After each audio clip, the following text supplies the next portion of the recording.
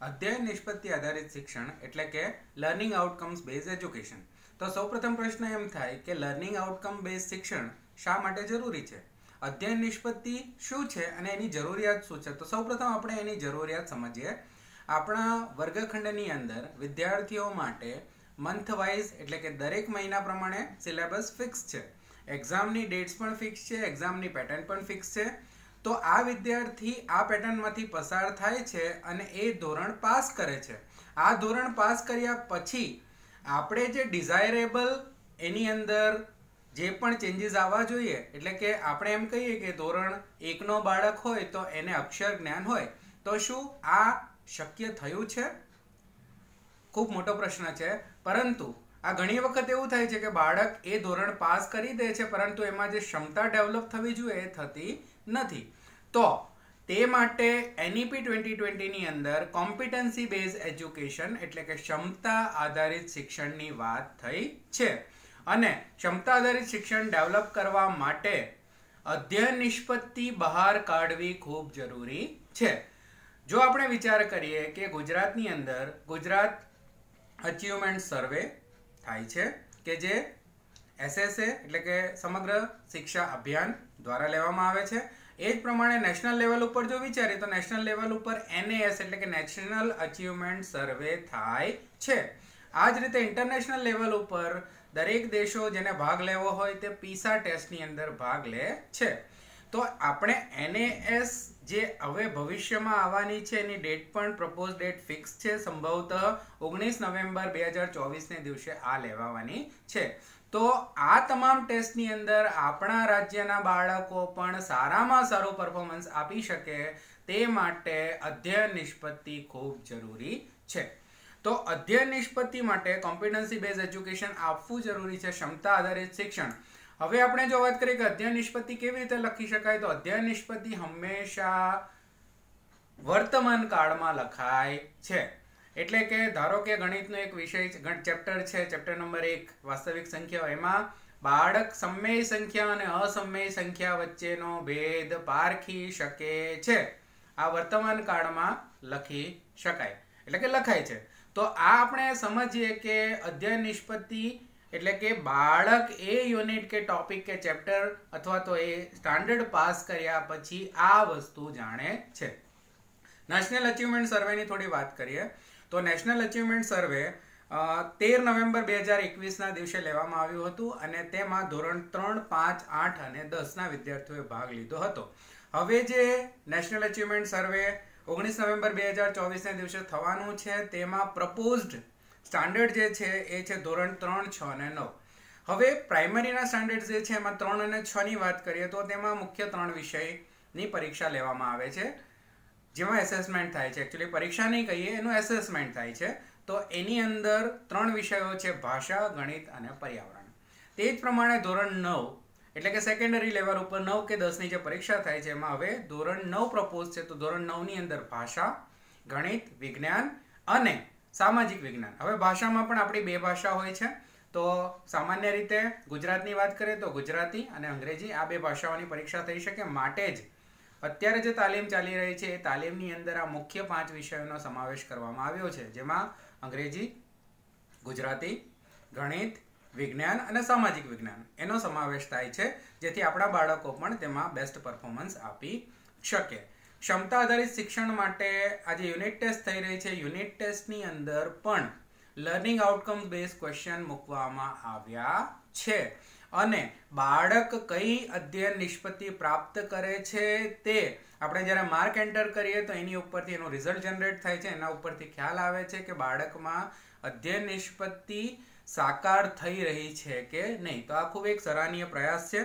એનએએસ અથવા તો આજે અચીવમેન્ટ સર્વે થાય છે, એમાં મુખ્ય ત્રણ પ્રકારના સર્વે થતા હોય છે પીક્યુ ટીક્યુ અને એસક્યુ પીક્યુ એટલે પ્યુપિલ ક્વેશ્ચનર્સ જેની અંદર બાળકો પાસે ક્વેશ્ચનર્સ ભરાવવામાં આવે છે. બીજું છે ટીક્યુ. એટલે કે ટીચર્સ ક્વેશ્ચનર કે જેમાં શિક્ષકો પાસે આ ક્વેશ્ચનર ભરાવવામાં આવે છે અને સ્કૂલ ક્વેશ્ચનર્સ જેની અંદર આચાર્યશ્રી અથવા શાળાને બિહાફે ભરવામાં આવે છે. આની અંદર આજે સર્વે થાય છે એમાં સરકારી શાળાઓ ગ્રાન્ટીનેટ શાળાઓ અને પ્રાઇવેટ શાળાઓ રેન્ડમલી તમામ વિસ્તારોમાંથી રેન્ડમ વાઇઝ કરીને લેવામાં આવે છે અને એમાં કોઈ પણ ધોરણ કોઈ પણ શાળામાં અમુક બાળકો ઉપર આ સર્વે કરવામાં આવે છે. અને જો આ સર્વેની વાત કરીએ કે આ સર્વેની અંદર રિઝલ્ટ બહુ સારું હશે, તો આપણે જાણી શકીએ કે આપણા બાળકો કોમ્પિટેબલ થયા છે અને એ કોમ્પિટન્સી બેઝ એજ્યુકેશન પ્રાપ્ત કરી રહ્યા છે. થોડી પીસાની વાત કરીએ, પીસા પીઆઈએસએ જેનો ફૂલ ફોર્મ થાય છે program for international student assessment હવે આ જે ટેસ્ટ છે, બે હજારથી શરૂ થઈ હતી અને ઇન્ટરનેશનલ લેવલ ઉપર લેવાય છે એમાં જરૂરી નથી કે દરેક દેશ એની અંદર ભાગ લે.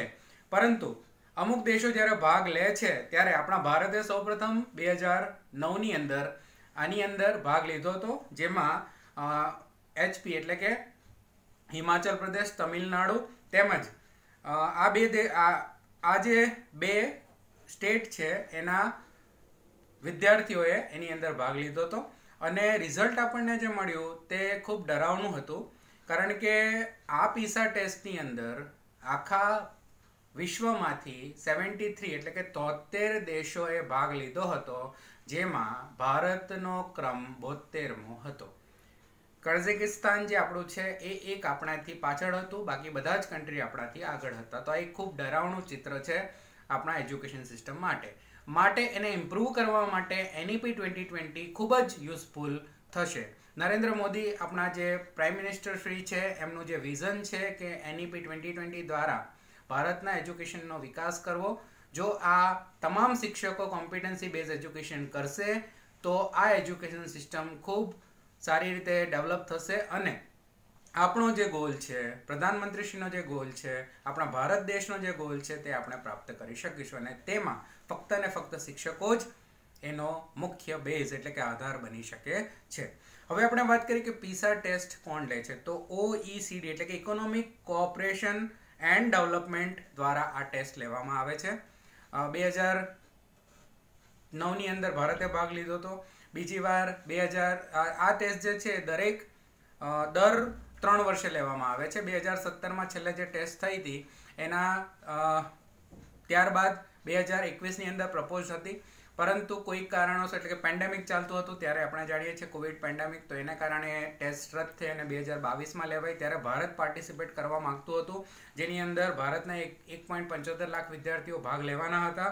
જેમાં ગવર્મેન્ટ ઓફ ચંદીગઢના વિદ્યાર્થીઓ પછી છસો નવોદય વિદ્યાલય અને ત્રણસો કેન્દ્રીય વિદ્યાલયના બાળકો ભાગ લેવાના હતા. પરંતુ કોઈ કારણસર ત્યારે ભાગ લઈ શક્યા નહોતા. તો હવે બે હજાર પચીસમાં ફરીથી આ પીસા ટેસ્ટ થશે. એમાં ભારતના વિદ્યાર્થીઓ ભાગ લેશે એવી એક્સપેક્ટેશન છે. અને તે માટે આપણે તમામ શિક્ષકોએ મહેનત કરીને આપણા બાળકોમાં લર્નિંગ આઉટકમ ડેવલપ કરવાની જરૂર છે. હવે જો આપણે વાત કરીએ કે આગળની જે ટેસ્ટ થઈ હતી એમાં રેન્કિંગ તો બે હજાર બાવીસનું જે છેલ્લું સર્વે થયું હતું એની અંદર સૌપ્રથમ રેન્ક આવ્યો હતો સિંગાપુરનો અને ત્યારબાદ સેકન્ડ રેન્ક ઉપર હતું ચાઇના.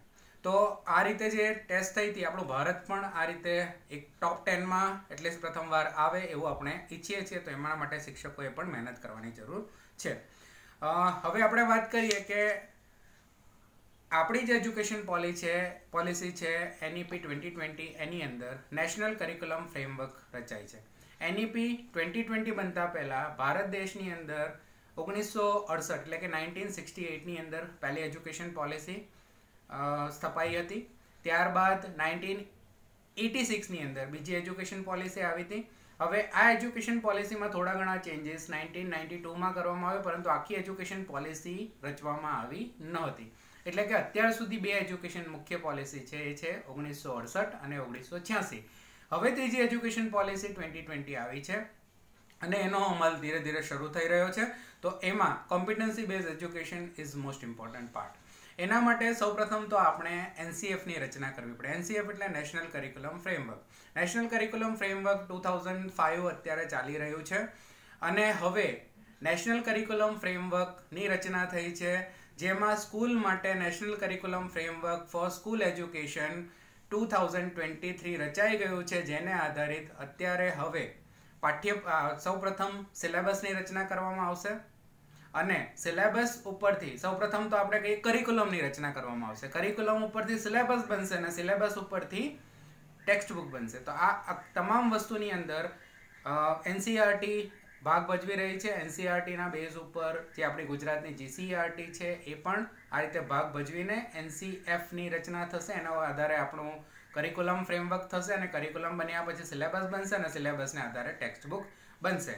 તો આપણે જો વાત કરીએ કે એનસીએફ કઈ કઈ વસ્તુઓ છે?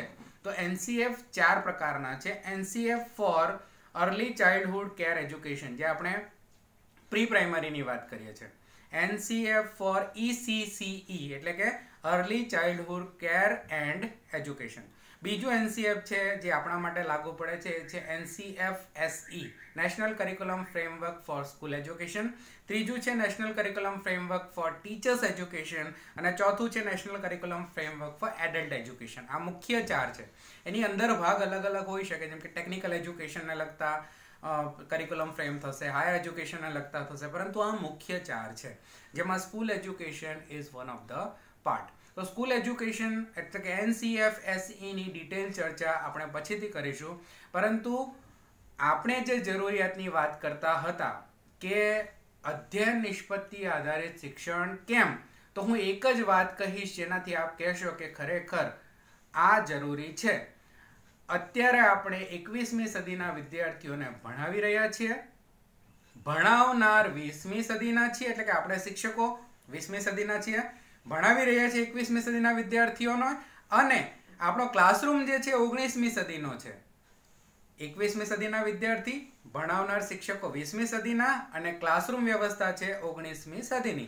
તો આ કપરી પરિસ્થિતિની અંદર આપણે અપડેટ થવાની જરૂર છે.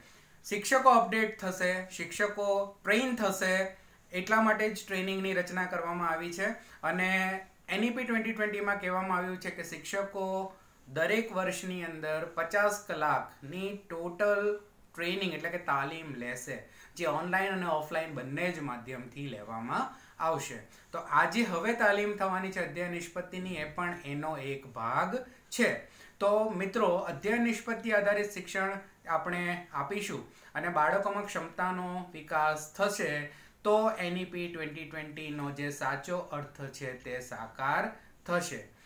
નેશનલ એજ્યુકેશન પોલિસીની અંદર એનસીએફ એસી શું છે?